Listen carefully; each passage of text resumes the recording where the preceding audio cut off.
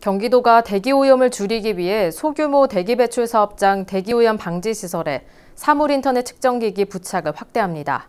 실시간으로 방지 시설 상태를 확인하고 소모품 교체 주기를 파악할 수 있어 효율적으로 관리할 수 있을 전망입니다. 구영슬 기자가 현장 취재했습니다. 경기 지역의 대기 배출 사업장은 19,400여 곳. 이중 96%인 18,600여 곳은 소규모 사업장입니다.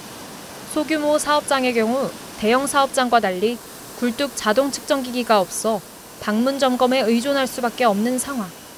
경기도가 이런 소규모 사업장에 부담을 덜어주고 대기오염을 줄이기 위해 소규모 대기 배출 사업장 대기오염 방지 시설에 사물 인터넷 측정기기 부착을 확대합니다. 기존엔 오염물질 배출 농도 관리를 위해선 소규모 사업장은 방문 점검에 의존할 수밖에 없었지만 사물 인터넷 측정기기를 부착을 통해 방지 시설을 효율적으로 관리할 수 있었습니다. 사업장은 보조금을 지원받아 사물 인터넷 측정기기를 부착해 사물 인터넷 관리 시스템으로 자료를 전송하게 됩니다. 방지 시설에 계측기와 통신 장비를 설치하고 인터넷에 연결하는 방식으로 실시간으로 방지 시설 상태를 확인하고 소모품 교체 주기를 파악할 수 있습니다.